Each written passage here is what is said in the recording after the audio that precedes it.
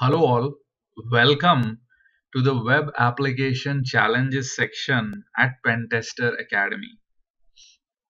Now in this video, uh, I'm introducing to yet another unvalidated redirect challenge and this time there will be no additional hints.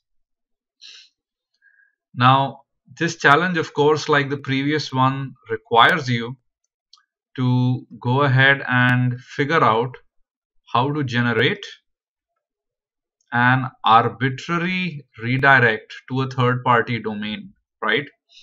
Seemingly we have the URL in here and some form of a hash. I've given you the hint that the hashing algorithm is SHA-1, right? So using this, you have to probably figure out how to manufacture your own redirect URLs. So all the best. And if you're having fun at Pentester Academy, then please do recommend us to your friends and colleagues in the InfoSec community. Thank you.